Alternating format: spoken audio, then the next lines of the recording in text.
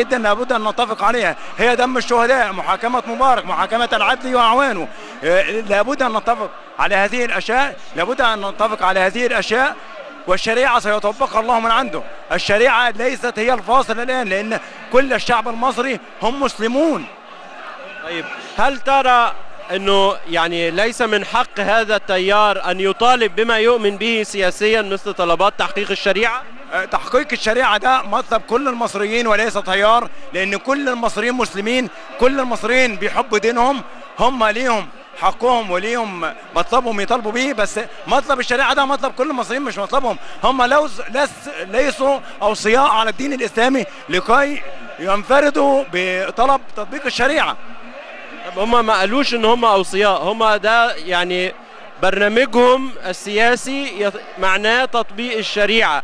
هل حضرتك شايف إن في مشكلة في دوت؟ لا هو ما فيش مشكلة بس أنا هرجع أقول لك تاني إن منهج ال- ال- المصريين كلهم هو الإسلام. منهج المصريين كلهم إن هم مسلمين محبين لدينهم. الشعب المصري بأكمله شعب سني.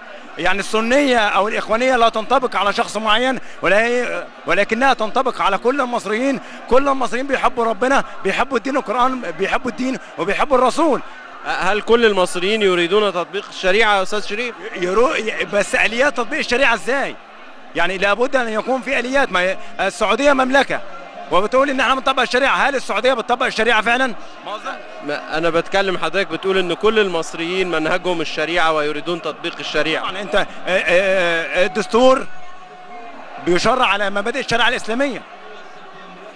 فاذا يعني ده مش مطلب المفروض ما ما ينفردوش بيه. ولكن إحنا عندنا عدة مطالب معينة. عدة مطالب ما هي المطالب؟ محاكمة مبارك تفعيل قانون الغدر تطهير جميع المؤسسات الحكومية في مصر من رموز الفساد ورموز أعوان حسن مبارك آه، حد أدنى وأقصى للأجور. آه، إعادة هيكلة ال- المؤسسات الحكومية بناس يجيبوا ناس فعلا عايزة تخدم البلد وعايزة تنهض بالبلد. شكرا ليك أستاذ شريف. عودة لك خيري في الاستوديو. شكرا.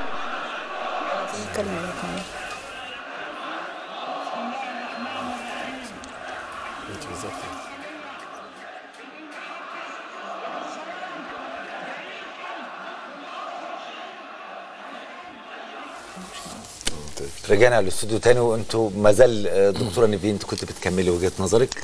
آه، فزي ما بقول انه مسألة إنه حد يقول الديمقراطية وبعدين آه، ديمقراطية كفر وكذا. طيب الإخوان المسلمين جماعة الإخوان المسلمين بتطالب بمحاربة الفساد وبالشفافية وبتتبنى آه، آه، فكرة آه، تقديم كشف بأسماء الممولين وال- وال- والجهات التي تلقى التمويل.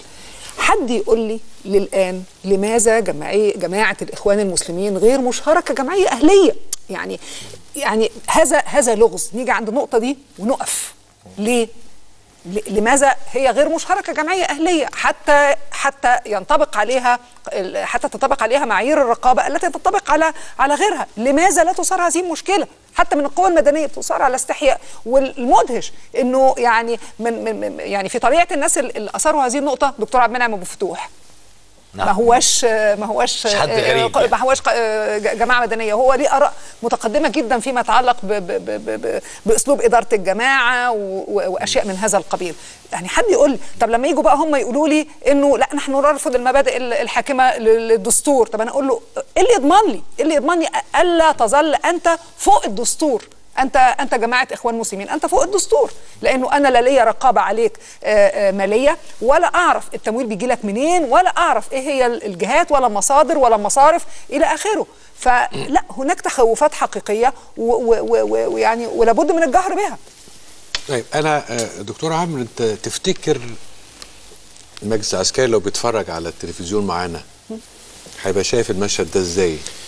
طبعا السؤال ده مهم قوي يا أستاذ عادل لأن ما كان متصور إنها تكون جمعة لم الشمل أصبحت في النهاية جمعة فصم العرى. فصم العرى انقسام يعني آه، وأنا شايف إن المجلس العسكري هنا يجب أن يلعب دور ودور مهم في آه، إنه ما يبقاش طرف يعني ينأى بنفسه عن أي خلافات وينأى بنفسه عما حدث منذ آه، عشر أيام عندما أتهم أحد القوى بالجذب آه، أو التمويل من الخارج بإنه بالفعل إن إحنا محتاجين بالتعاون مع الحكومة حكومة آه، دكتور شرف بين المجلس وبين الحكومة إنه يلم الشمل مرة أخرى. آه، لم الشمل القوى المدنية هنا عليها عبء وعبء كبير إنها تتحد لأن في بالفعل مشاكل كثيرة جدا خاصة ما بين قطاع الشباب في ميدان التحرير. والجيش اصابعه اتحرقت ما في شك. من التعامل مع فصائل لا قائد لها اللي كان مميز في الثورة إن هو لا قائد لها أصبح عبء وثقل. ما في شك في الوقت الحالي. بيتكلم مع شباب صغيرين ما فيش أي مشكلة لكن اتكلم على عدد عشرات كتير حاجات والله يا. خير يعني أنا مشفق برغم نقد للجيش في أو المجلس العسك- الأعلى للقوات المسلحه في أمور كثيرة جدا.